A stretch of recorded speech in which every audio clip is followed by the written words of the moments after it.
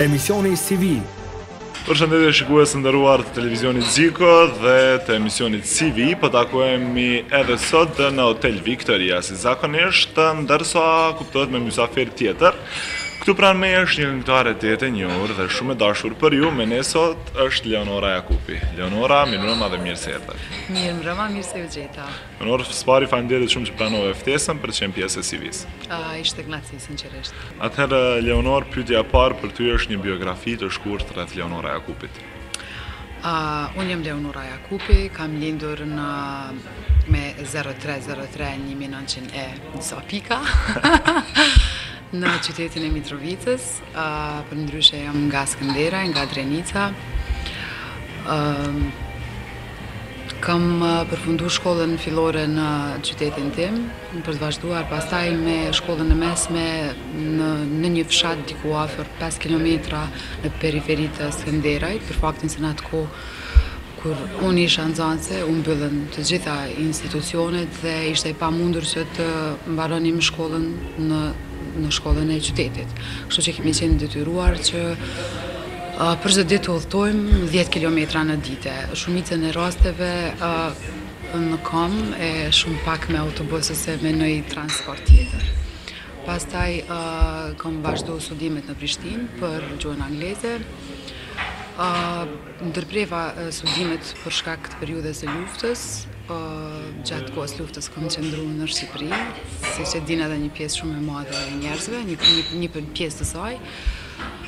Ë pastaj pas përfundimit kam regjistru fakultetin juridik, në të cilin edhe po vazhdoj herë pas here për fakt për faktin se kam shumë angazhime, shumë peripeti me profesionin, me punën që bëj dhe shpresoj që një ditë natyrisht të jem një juriste e diplomuar. Qenkemi kolegë sa i përket fakulteteve, të uroj shumë suksese, ndërsa... Shumë jurista, unë e kam vllaun jurist i diplomuar, tani është në magistratur, motrën po ashtu, kështu që... Familja krejt jurista. Po. Ndërku, ndërsa, pyetje shtesë... Jo, e kisha, e kisha literaturën po. e gatshme, s'kisha nevojë me... kisha krejt gatshme. Pyetja shtesë sa i përket biografisë është horoskopi edhe ushqimi i preferum edhe sa i beson horoskopit. Çfarë sheje je? Jam peshk me nënshejen e dashit. Fatmirësisht shyqyr që e kam shejen e dashit se përndryshe peshqit janë shumë të ndishëm. Kam lexuar shumë për horoskopin edhe pse jo jo që i besoj aq shumë. Por ka pas raste kur edhe m'ka fascinu me disa me disa shkrime që kam lexuar për Për shenjat e horoskopit e kryesisht për ndikimin e nënshenjave pas një kohe, shyqyr që jam dash, se përndryshe si peshk, peshqit janë natyrë shumë e ndjeshme, shumë sensibile, romantike, padiskutushëm shumë, kështu që shyqyr që kam edhe shenjën e dashit dhe ajo më bën ndoshta pak ma Shumë më t'fortë si karakter. Leonor, pyetja tjetër është çfarë karakteri ose na përshkruaj për personalitetin e Leonorës. Po shumë e vështirë me fol njeriu për karakterin, për personalitetin. Unë gjithmonë e kam pas të vështirë me fol, ndoshta shpesh është më mirë që me fol dikush i familjes, dikush i afërm ose një mik i cili njeh më mirë edhe mundet me fol për karakterin tënd. Se kur njeriu flet për veten, ndoshta shpesh raste edhe tepron me lavdata ose ku e di unë. Kryesisht është e vërtetë që jam shumë e ndjeshme si si si karakter, jashtëzakonisht emocionale. ë kam një karakter shumë të fortë, ë jam e mbaj fjalën shumë, jam shumë principiele në shumicën e rasteve, situatave. Ëh, kjo jam unë. Mos flas më shumë për vete. Kush e përbën familjen e Leonorës? Familjen time të ngushtë me të cilët edhe jetoj është mami, vëllai dhe motra, bashkë me mbesën time të vogël Moren, pastaj të gjerë kom prej babit jemi më pak, ndërsa prej mamit jemi më shumë. Prej prej babit i kam dy halla edhe axhën. i cili në periudhën e vitit një mijë e nëntëqind e tetëdhjetë e një ka qenë në demonstrata dhe si ushtar është maltretu dhe sot dhe asaj dite është i smut dhe halat cilat kanë të dyat nga tre fëmi ndërsa prej familjes mamit kam shumë s'po i numroj jemi shumë në regull Tani po rikthehemi familjes, na tregove paksa për kilometrat, skeçe e krejt, po kur ke qenë edhe më e vogël, çfarë fëmije ke qenë? Ndoshta për faktin se unë kom qenë fëmiu i madh i familjes, i pari, kom qenë e lastume, sinqerisht, më kanë lastu prindët kryesisht babi. Me babin kom qenë shumë e lidhun, jashtëzakonisht e lidhun, madje Babi i ka dëgju të gjitha kërkesat e mia dhe preferencat e mia edhe pothuajse të gjitha është mundu me me me m'i plotësu. Ë shpeshherë edhe me miq kur jemi më kujtohen momente të asaj kohe, babi më ka marrë madje edhe në mbledhje zyrtare, nëpër takime kur ka pas, udhëtime, takime me shoqëri, kam qenë shumë shpesh në zyrën e tij, kur ka pas ndonjë projekt, se babi ka qenë inxhinier i gjeodezisë, ndoshta edhe ndonjëherë edhe pas orarit të punës është dashur me punu për projekte. Kështu që shumë shpesh kam shku me babin. Kam qenë një nxënëse shumë e mirë, kam mësuar shumë, kam pas shumë shokë dhe shumë shoqe, jemi taku shpesh. Vendi jem i preferuar ka qenë në qytetin tim te Fontana, aty ku kryesisht i kemi bërë gjitha lojnat, pastaj te shtëpia e kulturës. Kjo. Do të thotë një fëmijë pak sa shumë i përkëdhelur. E shumë e përkëdhelur, jashtëzakonisht. Nga mami jo shumë sa kam qenë nga babi. Nga babi jashtëzakonisht. Ndërsa sa i përket çmendurive ose surprizave ose diçka interesante, sa je e kyçur ose a ka diçka që të mbetet në krye që sot e kishe nda me ne? Çka kam ba? Diçka shumë interesante, që kishe dashtë për momentin që po të kujtohet. Çmenduri në aspektin për mirë po e flas. Nuk e di, nuk jam kështu shumë e qmendun, me bo qmenduri shumë të mëdha, sinqerisht, gjithmonë edhe, edhe kur kam qenë atëherë e lastune, gjithmonë kam qenë shumë, kam qenë shumë e kujdesshme. E kujdesshme në radhë të parë të mos i lëndoj të tjerët në asnjë mënyrë. Pastaj, ndoshta, për momentin s'po më kujtohet ndonjë qmenduri kështu e veçantë, Mirëpo ka, me siguri ka. Sa e sa herë kam bërë sherre në shtëpi mamit, babit. Jo për për t'i mos lëndu, po gjithmonë për të bërë diçka për të duk më interesante. Me qenë n'qendër të vëmendjes gjithmonë. Ndërsa tek vetja jote çka vlerëson më shumë ti? Definitivisht karakterin. Është arma jote apo? Po. Cilat janë pesë gjërat pa të cilat nuk mund ta kalosh një ditë? Gjëra. Ah, s'mund të kaloj uh, ka shumë, nuk e di, ndoshta as s'janë veç pesë. Uh, telefoni është i domosdoshëm, mirë, po besoj që shpesh herë është shumë i bezdis, i bezdisshëm, kështu që uh, më ka ndodhë shumë shpesh me, me e fikë, edhe mos me hapë 2-3 ditë ose ndonjëherë edhe më shumë, Mos me u shqetësu prej thirrjeve, ndoshta po kam nevojë për për pushim. S'kisha mujt definitivisht pa pas brushën e dhëmbëve në asnjë formë. Kuletën po. Tri. Pa çantë nuk muna me shku kërkun, hiç nuk muna me paramendu pa pas çantën, pa pas diçka me me marr mrena me vete. Pa akull nuk muna kurrqysh me shku dita pa hangër akull kurrqysh s'muj s'e di s'po më kujtohet ndoshta për momentin po ka shumë edhe edhe kjerë me sa herë shoh se po i mund çelsat ndor jo ndoshta një farë shprehije kur t'ulem në tavolinë me bo bisedë përndryshe jo shpeshherë udhëtoj edhe me taksi sidomos në Prishtinë e domosdoshme Leonora, cila është gjëja më rëndësishme në jetën tënde? Ah, gjëja më e rëndësishme në jetën tënde është familja ime. Mami, vllai dhe motra, edhe Morena po ashtu. Ma të rëndësishmit janë ata për mua. Uh, asgjë tjetër në jetë nuk vë para tyne. Për mua është e rëndësishme shumë uh, shëndeti i tyre, lumturia e tyre, mirëqenia e tyre, këto janë ma të rëndësishmet për mua. E përmendëm Morenën që nga fillimi i intervistës, tash po du me pyt paksa a të përngjan ty. Po, si karakter, ashtu, mund të them, është kogja shumë temperamente, si pamje, bukur shumë, bukur shumë. Po ka me u bo një vajzë shumë e bukur.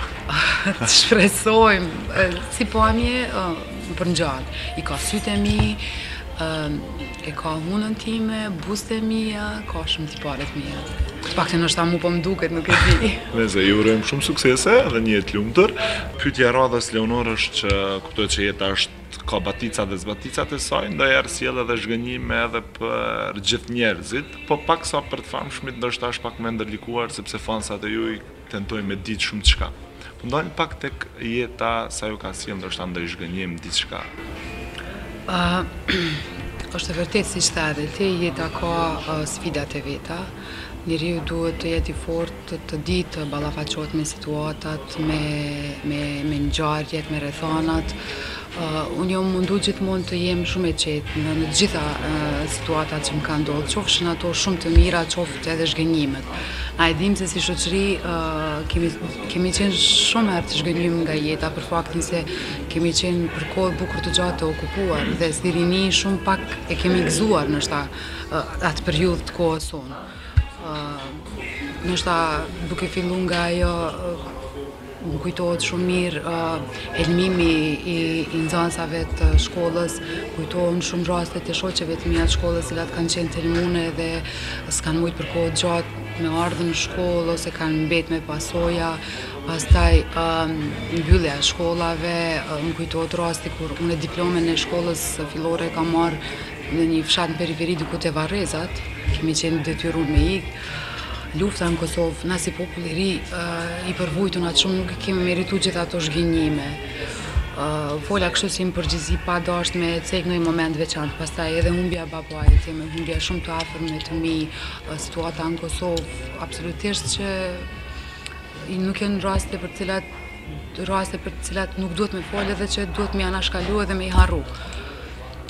Mirëpo njeriu gjithmonë duhet me pa përpara, me mendu me pozitivitet edhe me i pa gjanat me luftu për ma të mirën. Unë gjithmonë jam, jam eduku ashtu dhe jam përpjek të, të punoj në këtë aspekt. Kjo është ma e rëndësishme. Qofshin të kaluara dhe më mos t'i përjetojë askush këto që i ceke dhe ne po vazhdojmë sërish tash me emisionin tonë. Ndërsa pyetja tjetër Leonora është cila ka qenë gjëja më e mirë që e ke bërë deri më sot? gjëja më e mirë. Unë kom bo n'fakt shumë gjona të mira, sinqerisht. ajo që është, që unë mendoj që është më e mira, është që unë mendoj që jetën time plotësisht ia kom kushtu familjes sime. Ia kom dediku uh, nanës sime e cila, e cila Në moshë shumë të re ka mbet pa pa burrë, pa babain tim dhe i është përkushtu maksimalisht familjes. Unë asnjëherë nuk jom nda familjes time, për asnjë çast, për asnjë moment, uh, jom mundu që mamit, motrës dhe vllait, t'i ndodhem ma afër në, në momentet ma të vështira, për çka nuk pendohem asnjëherë absolutisht, Pastaj nuk e di, unë mendoj që kom bo vepra të mira, kom lon gjurmë në, në këtë historinë e muzikës sonë. Uh, duke fillu prej shumë kongëve që janë pëlqy, pastaj uh, mendoj që uh, vepër e mirë po ashtu janë edhe koncertet e mia të shumta humanitare, angazhimet e mia të shumta për të ndihmu luftës, familjeve të dëshmorëve, fëmijëve jetimë, skamnorëve, shumë e shumë të tjerë. Dhashtë Zoti që unë të kem forcë dhe fuqi dhe dëshirë, si, si edhe ma përpara që të mos ndalem asnjëherë me këto aktivitete. Atëherë shpresojmë që të mos ndalesh dhe vetëm të vazhdosh dhe Na thuaj paksa për kohën e lirë. Si ju pëlqen me kalu kohën e lirë? Uh, kohën e lirë, varet, varet prej ditës në ditë, që asnjëherë uh, s'kom planifiku diçka, se uh, ka pas raste kur kom planifiku diçka edhe ka ndryshu plani, psh kom thonë sot po shkoj uh, në Shqipëri me familje, ka ardh dikush musafir, është dasht me qitë kafe. Po mirë, kom qejf... Uh, Mbrëmjeve kryesisht me pa filma, filmat kryesisht pothuajse gjitha kategoritë t'më pëlqejnë, me lexu diçka, me shku te të afërmit e mi, me vizitu te gjyshi, sidomos shkoj shumë shpesh, nuk ndodh me kalu java dhe mos me qenë atje, pastaj te dajtë te tezet, kemi shumë të afërm, me bo vizita, me dalë ndoshta najherë me hangër, me familjen një drekë, një darkë, me shoqëri, kjo. Ka mënyra të ndryshme. Ka mënyra të ndryshme. Ë, ti ke që maru kafe. Po nalim pak te kuzhina, sa, sa din me përgatit ose kafe, çaj këto, tradita jo, tona? Jo, kafe, çaj, di, pa problem. Nuk di edhe shumë prej kuzhine, sinqerisht. Ndoshta, pse uh, mami është uh, një kuzhiniere shumë e mirë, uh, kom thonë shpeshherë bile mami më ka kritiku. Edhe shpeshherë po më kritikon po thotë masi po thu që jam kuzhiniere e mirë hajde mëso pak. Po mami e ka marrë përsipër atë pjesën e kuzhinës, se na dy vajzat i kena marrë përsipër punët e tjera që i takojnë shtëpisë. Ë, kështu që jo, me kuzhinë, në kuzhinë di me përgatit, nuk është që nuk di ushqime, mirëpo jo edhe shumë. Jo edhe shumë ndoshta edhe për shkak të kohës, për shkak të angazhimeve. Unë e kam kështu si si obligim sa të zgjohna mëngjes sa të merrem me vete ta bëj një dush, patjetër që duna m'i përfundu punët e shtëpisë. Nuk muna me nejt rahat pa i përfundu ato punë që më takojnë mu, se i kemi të ndane, pa i përfundu ato s'muj me fillu ditën. Kështu që kuzhinën ia kemi lënë edhe pak mamit, ishalla s'na e len n'dorë edhe kuzhinën se na merr në qafë. Dhe atëherë mirë që do të thotë nuk je përkushtuar vetëm në karrierë edhe krejt u kry, kështu që je përkushtuar edhe në punët e shtëpisë e jo, këto gjëra të tjera. Jo, pak po bëj hajgare, po ju them shoqeve të mia, por punët e shtëpisë nuk ia lë n'dorë kërkujna. Ndërsa pyetja e fundit sa i përket pyetjeve të jetës, nëse Leonora Jakupi nuk do të ishte një këngëtare e suksesshme, ku do të mund ta shihnim Leonorën? Si çka? Ah, si çka? Po gjithmonë uh, njeriu inspirohet uh, ose frymëzohet nga profesionet e prindërve. Gjithmonë si e vogël kam pas dëshirë të jem mjeke, t'i përngjaj mamit, pastaj të jem një arkitekte, të kem ngjashmëri me profesionin e babit. Kam dashur shumë profesione, pastaj edhe sportin e dua shumë, sa so, ndoshta me siguri edhe sportiste kisha mujtë me qenë. Ahh, i kisha zhvillu. Gjitha profesionet i kisha zhvillu, besoj mirë. Do me thënë e gjithanshme. Besoj që po. Më vjen shumë keq pse me pikturën nuk jom marrë ma shumë. Besoj që do të kisha qenë edhe si piktore shumë më e mirë. Ndërsa, mirë që nuk e ke lënë këngën. Edhe mirë shumë. Kush e ka zbuluar talentin e muzikës? Talentin? Ahh, familja ime, prindtë e mi. Unë e kam pas pasionin për muzikën qysh e vogël. Shpesh herë ndoshta edhe kam hyp edhe në karrike, kam imitu këngëtarë të tjerë, kam provu me këndu edhe qysh atëherë prindtë e mi e kanë pas se unë kam talent në fushën e artit. Qysh e vogël edhe kam recitu shumë, kam qenë njëna prej recitatoreve ma të mira në shkollë, në korin e shkollës, arsimtari i muzikës po ashtu. Ah në dajë i imi e shumë vetë tjerë kështu. Ndërsa, si kanë qenë hapat e tu të parë do të thotë në fushën e karrierës po flasim tani, domethonë prej kangës së parë si si ka fillu ajo euforia e muzikës për me bo kangën me inqizu krejta këto? Po fillimisht tu pas parasysh që vendi ku unë jom lindë dhe jom rrit Si një qytet i vogël Skënderaj ka qenë shumë e vështirë me u kyç në botën e muzikës ose estradës. Edhe në atë botë e vetmja mënyrë ka qenë, të paktën ndoshta edhe për mu, me e pa, me e njoft ma mirë talentin tim, me hy në rrjedhat e muzikës, kyçja në ansamblin e, e Skënderajt, Zëri i Drenicës, aty kom qenë si pjesëtare e atij ansambli, në cilin ka pas edhe shumë këngëtarë të tjerë, sot emra të njohur të skenës së muzikës, siç është edhe Ilir Shaqiri e shumë të tjerë. Edhe pse ka qenë periudhë shumë e shkurtë dhe në atë kohë unë nuk e njifsha mirë folklorin, që sot pendohem shumë se sot e njoh shumë mirë, Periudhë e shkurt mirëpo kam shumë kujtime dhe shumë emocione të veçanta të asaj kohe. Bile e maj mend shumë mirë edhe koncertin e parë edhe koncertin e dytë. Koncerti i parë është shfaq në Shtëpinë e Kulturës në Skënderaj, ku unë jam prezantu me me një kangë të vjetër të njohur Dallëndyshe Bukuroshe, me cilën kangë po ashtu jam prezentu në Ulqin në një turne të cilën e ka shfaq ansambli. Një emocion i veçantë, i jashtëzakonshëm, unë me veshje kombëtare, me një kangë shumë e bukur, biles pendohem edhe nuk e di qysh nuk e kam përpunu atë kangë naj herë me këndu kështu, është shumë kangë e bukur. Meqenëse na tregove, do të thotë kjo ka qenë edhe paraqitja juaj e parë skenike, Po po flas nëse flasim në aspektin profesional po. ose se unë kam këndu shumë në korin e shkollës, kemi pas shumë këngë për fëmijë, ato nuk po i llogaris. Po. Kuptohet që gjer sot do të thotë për të qenë një ndër këngëtaret e para ka pas shumë mundi, shumë shumë shumë vështirësi.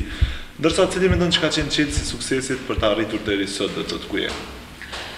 Çelësi i suksesit, natyrisht se është fati ai i cili të ndihmon, Zoti, absolutisht.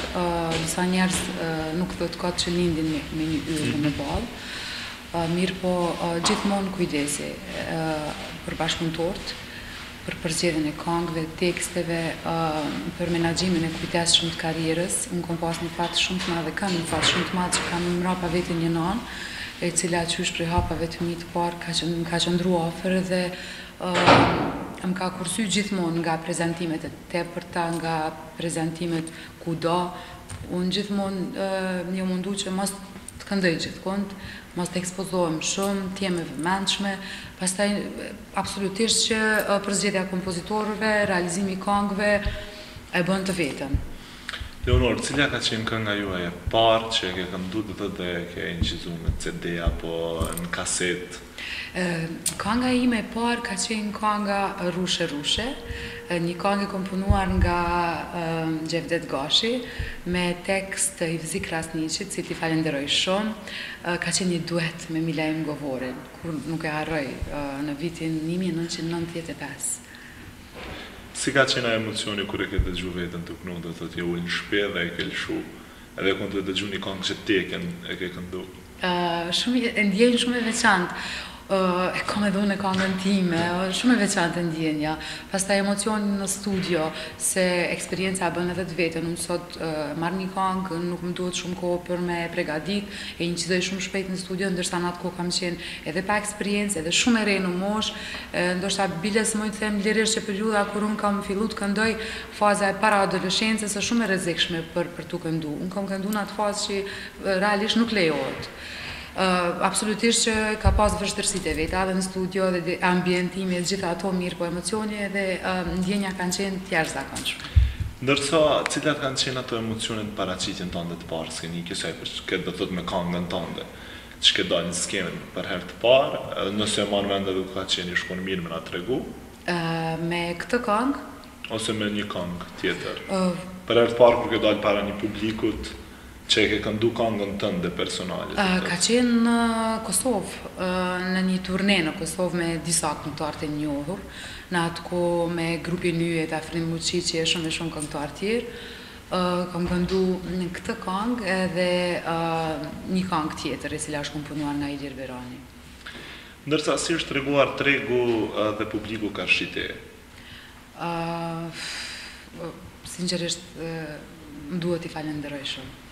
Më shumë duhet të falënderoj sepse unë kam pas një fat shumë të mirë, kam një fat shumë të mirë që publiku im i përfshin të gjitha moshat, gjitha gjeneratat, tu fillu prej moshave shumë të vogla, prej fëmijëve e deri te moshat më të shtyme, ato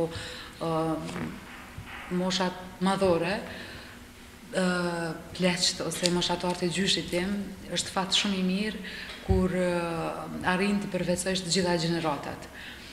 Edhe është fat shumë i mirë që pas kaq shumë viteve karrierë, se u bon shumë vite, unë akoma e gëzoj reputacionin, kam shumë koncerte dhe koncertet e mia janë bukur mirë, bukur shumë masive, Këngët e mia pëlqehen, dëgjohen, kërkesat për për të pasë këngë të reja gjithmonë shtohen, kështu që duhet t'i falënderohem Zotit shumë edhe publikut shumë që sinqerisht më ka pranu kështu siç jam. Meqenëse jemi te intervista, një pyetje për intervistën e parë që e ke dhënë. Intervista ime e parë ë faktikisht shkrimi im i parë për mua është bo ka qenë një artikull i vogël në revistën Kosovarja.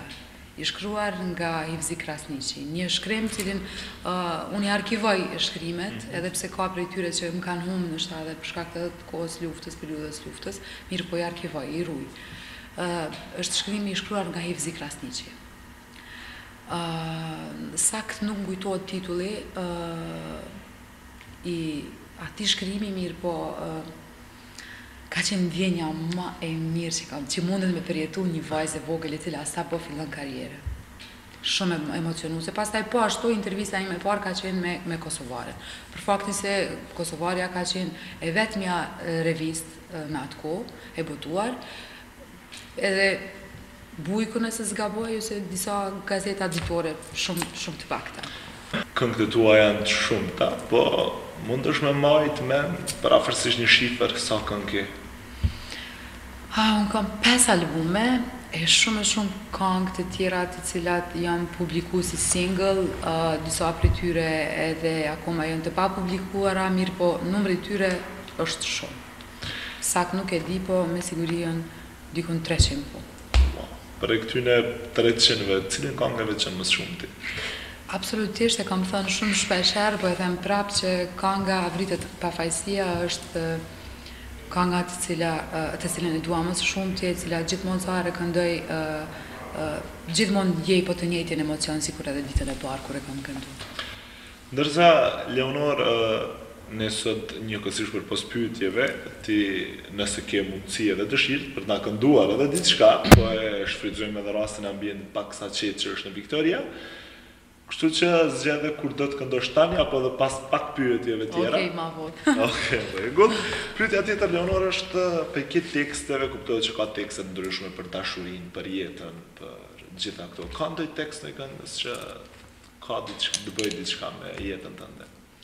Jo, asnjëri prej teksteve të dashurisë, nëse flasim këtë aspekt, mhm. nuk ka të bëjë diçka me jetën time personale.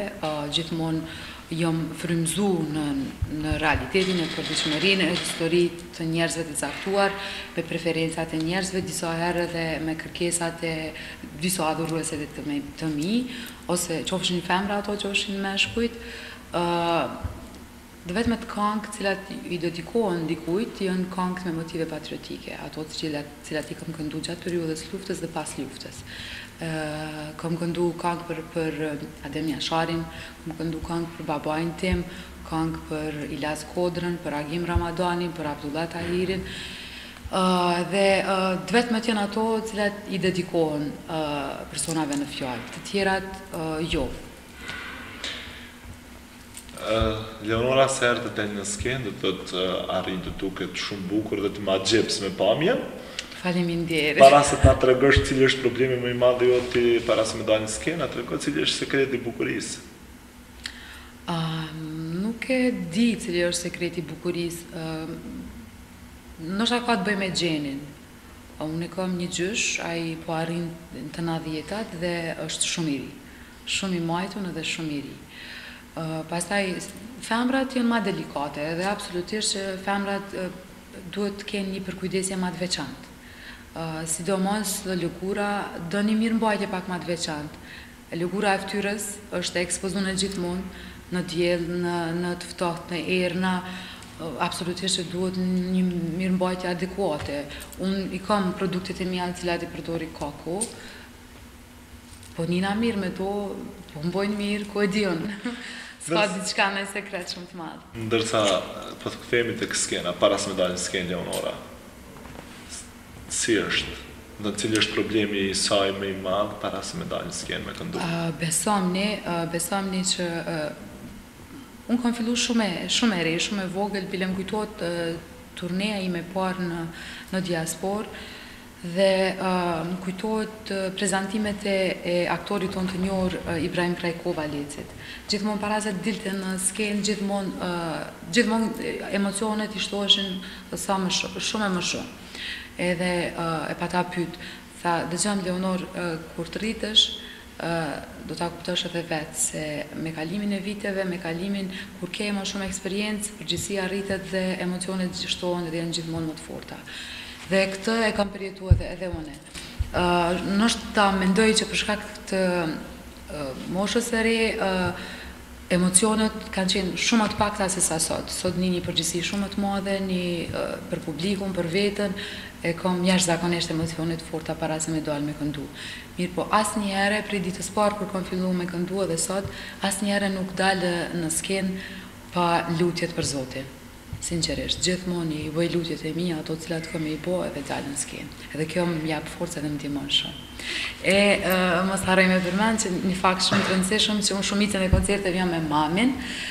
Edhe gjithmonë kur e kam mamin përpara publikut, ajo gjithmonë ja bëj i kam ato metodat e mia kur e pyes a jam mirë apo bëj diçka keq. Kur ajo ma bën mirë je e unë atëherë nij një farë sigurie ashtu përbrenda, thom e mirë koka. Bile m'ka ndodhë një koncert diku jashtë në diasporë, me siguri mami është hutu, m'ka pa, unë munohsha me i jep një shej, me thonë mamë, çka po bëj, ajo, rri kjo shumë e mërzitme, kështu. Thashë kuku, unë diçka kam gabu. E, po pasi të përfundosh, domethënë, prezantimin tënd në skenë, edhe kthehesh prapa skene, domethënë, në vendin ku jeni. Çka dëshiron me pas në dorë? Ujë apo? Ujë, ujë, definitivisht. Ujë. Ujë edhe në momentin e parë du me i hekë takat. Se lodhna e du me i hekë takat edhe me pi ujë, definitivisht. Për këto dyja më bjen në mend, qysh në kangën e fundit kur ta përfundoj. Pyetja e radhës, Leonor, ka të bëjë me bashkëpunimet. Me kë ke bashkëpunu më së shumti deri më sot? Kam bashkëpunu me shumë kompozitorë. Prej atyre të Kosovës, të Shqipërisë, të Maqedonisë, shumë. Në fillimet e mia të para e ceka Xhevdet Gashi, pastaj ka qenë Alfred Kaçinari, Ferdinand Deda, Edmond Zhulali, Luan Zhegu, Enis Presheva, mos të harroj Naim Krasniqi. E shumë e shumë të tjerë, sinqerisht kërkoj falje nëse po po harroj, shumë kompozitorë. Ndërsa, cili është dueti juaj më i pëlqyer? Dueti im më i pëlqyer dhe natyrisht që mu më pëlqen më së shumti është kanga kushtuar Ilaz Kodrës së bashku me Ilir Shaqiri. Ndërsa kohëve të fundit do thotë Leonora nuk ka pas shumë duete.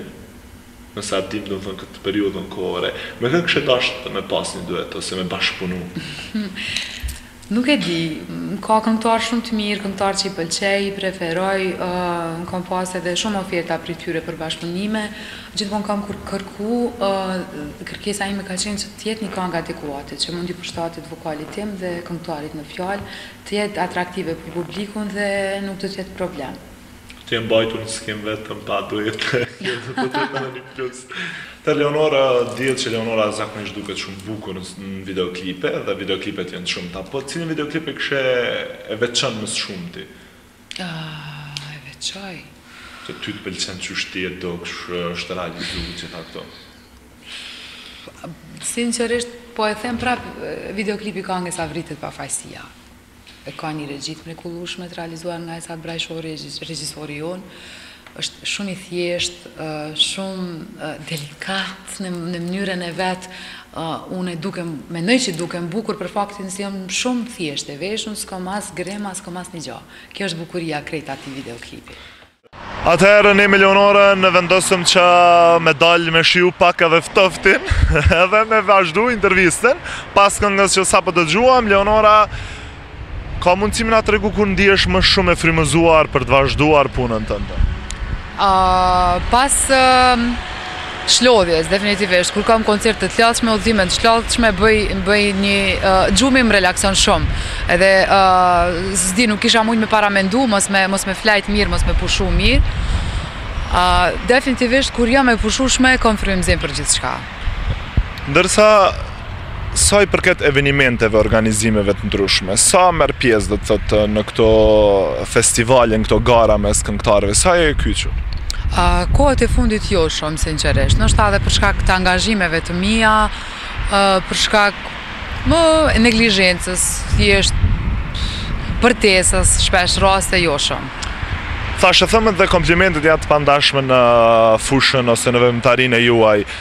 Sa merresh me thashetheme, edhe thashethemi i fundit që ke dëgjuar, cili që të ka bërë shumë me qesh.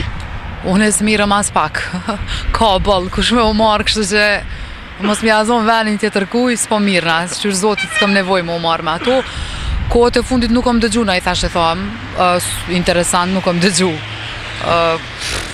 Dihet që ka boll thashetheme në Kosovë, padiskutushme. Mirëpo, me qenë pjesë e show biznesit, Në momentin kur ti e sakrifikon veten për të qenë në këtë fytyrë publike, njeri publik, duhesh me u ballafaqu me të gjitha problemet, edhe me thashetheme, njeriu ballafaqohet me të gjitha këto situata, por po duhet të jetë i fortë dhe të vazhdojë punën e punën kështu që s'ka naj rëndësi shumë të madhe. Pyetja e fundit sa i përket domethënë pjesës të karrierës, kë e shikon si rival më të fortë? karrierë. Karrierë. Me të thënë të drejtën, nuk e kam nuk është puna që s'e kam mendu, ndoshta e kam mendu për shkak se më është bërë shumë shpesh kjo pyetje. Mirëpo tu pas parasysh që secili prej ne nesh fillon me forcat e veta, me mundësitë e veta, me kapacitetin e tij, nuk e di, secili kemi zhanre të ndryshme të muzikës, nëse flasim për femra se gjithmonë fjala është Femra, Unë kam stilin tim, zhanrin tim, të tjerat kanë po ashtu zhanrin dhe stilin e vet. Edhe nëse do të mundohesha ose do të mundoheshin, asnjëherë nuk do të kishin sukses për t'ia marrë njëra tjetrës publikun. Kështu që unë nuk nuk shoh rivalitet. Edhe nëse ka ndonjë rivalitet, absolutisht që duhet të jetë me qëllimet më të mira, më pozitive, jo qëllime të këqija. Tani i rikthehemi pyetjeve provokative, Leonora edhe po e ndrrojmë pak pozicionin, po ecim njëkohësisht. Gjersa ti të na të na përgjigjesh në pyetjen e parë se ç'është Ka provokative, a? Ka provokative diçka, jo shumë, janë provokative të vogla. Çka është dashuria për ty? Çka është dashuria për mua? Po, ndjenja më më e bukur që mund të përjetojë njeriu, absolutisht. Dashuria nuk perceptohet vetëm dashuri e e mashkull femër ose femër mashkull, dashuria unë e shoh si një në një kand të ndryshe, ma të përgjithshme. Unë konkretisht po të pys për dashurinë mes një mashkulli. Ah, kjo qenka ajo provokativja.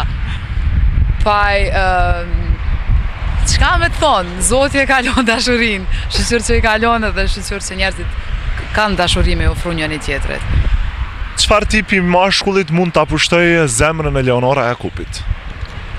Çfarë tipi i mashkullit? Paj, nuk po nisna prej atyre fjalëve duhet me qenë bjond ose zeshkan, ose sytë e kaltër ose s'e di çka. Ai i cili mundet me përvetësu zemrën teme ose me pas Leonorën, definitivisht duhet të të ketë sens të mirë për humor, të ketë intelekt absolutisht, të kemi mundësi të të flasim dhe të kemi për çka të flasim, sepse në momentin kur në mes të dy partnerëve ose në mes të dy çifteve humbet biseda, muhabeti, unë nuk mendoj që aty mbetet diçka tjetër.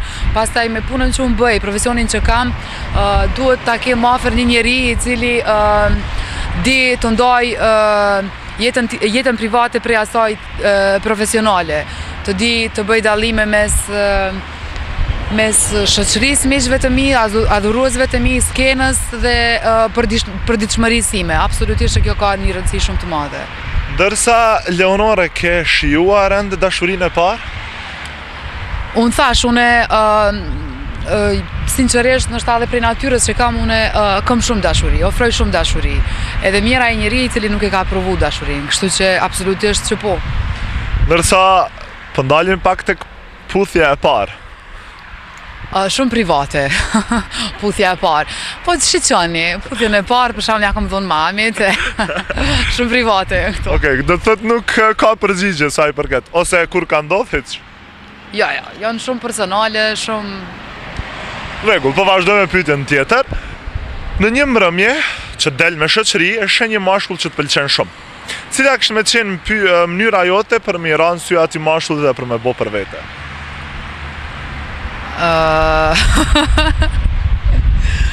Vallahi, besomë se kurrë s'e kom menu qëta. Kurrë s'e kom menu se çka duhet, qysh duhet me vepru n'asi situatash. Ndoshta ka qenë e panevojshme, ose, ose nuk më ka ranë n'sy dikush, ose diçka, po nuk e kom mendu asnjëherë. Kështu që nuk e di se Qysh kisha me reagu ose ça kisha me bo, mirëpo edhe nëse më kish pëlqy dikush shumë, me siguri ndoshta fshihurazi e kisha shiku kështu se jo me dhonë ndonjë shenjë që po më pëlqen asnjëherë jo. Po sikur Leonora Jakupi t'ishte e padukshme për njëzet e katër orë. Çfarë do të bëje? E padukshme për njëzet e katër orë. Më kishin shku njëzet e katër orë të menu ça kisha me bo për ato njëzet e katër orë, se me siguri ka shumë për njëzet e katër orë. Nuk e di, ka shumë. Ndërsa, si do të reagonit nëse në një koncert të Leonora Jakupit nuk do të kishte më shumë se 10 veta publik? Unë nuk është ndjenjë e mirë, absolutisht e besoj që nuk duhet me qenë ndjenjë e mirë, mirëpo, ata dhjetë vetë publik që vinë për të pa, ata kanë ardhë për ty edhe ti duhet ta majsh koncertin sikur me qenë ata një mijë ose dhjetë mijë ose kush e di se sa tjerë. Ata të dojnë, kanë ardhë për kangët e tua, tuja kështu që është krejt normale. Ndërsa, bukuria jote, thashë dhe më herët, po shtohet çdo ditë e më shumë. Flokët, ftyra jote gjithmonë skenë, kamera dukesh bukur. Vallë, ka operacione plastike, Leonora? A mendoni që ka? Unë konkretisht jo. Çka, nganjëherë kur mendoj për këto, shpeshherë them njerëzit duhet me marrë dhe me me i pa xhirimet e vjetra, të Leonores si ka qenë para 10 viteve, ose 5 vite, ose një viti, edhe me bo krahasime. A ka pas noj intervenim nojherë ose jo? Unë, uh, absolutisht që S'kam mendu ndonjëherë me pas ndonjë intervenim, edhe pse nuk jam kundër, njerëzit që janë të pakënaqur me pamjen e tyre, që ndihen të kompleksuar ose kanë ndonjë ndonjë ndonjë nevojë të patjetërsueshme, pse mos ta bëjnë? Edhe pse unë mendoj që adekuatja është kur njeriu mbush një moshë dhe është e nevojshme. Në moshën time është e panevojshme dhe nuk nuk e kam pa si të arsyeshme as nuk e mendoj. Pyetja e radhës, Leonor është nëse je në një fluturim, do të thotë në aeroplan, ti, i dashuri yt, supozojmë që ke të dashur dhe piloti. Për të vazhduar fluturimin në mënyrë të rregullt, njëri nga ju tre duhet me dalë jashtë aeroplanit dhe përzgjedhja duhet të bëhet prej anës tënde. Cili a? A duhet patjetër dikush? Patjetër. Atëherë piloti. Se Kam provu një herë me, me vozit aeroplanin në kabin të kopilotit, kështu që nuk di, po kam provu, në është aja dalë të qyshë.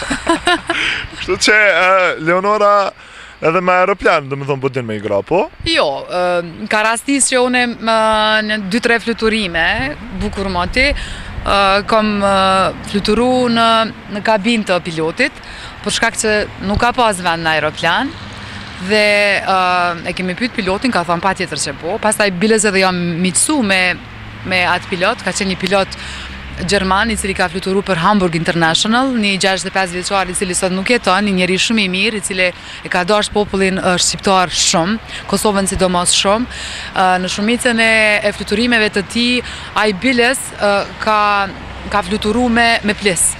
Besomni, me plis. Edhe shpesh herë edhe kur ka pas vend në aeroplan për mu, ka ardhë edhe më ka marrë, hajde.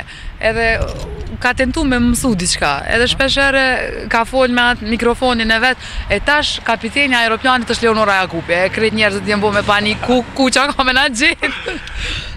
Në rregull, vazhdojmë me pyetjen e dhjetë dhe të fundit sa i përket këtyre dhjetë pyetjeve. Një femën e bukur dhe e mençur siç jeni ju, mund të jetë edhe e rrezikshme?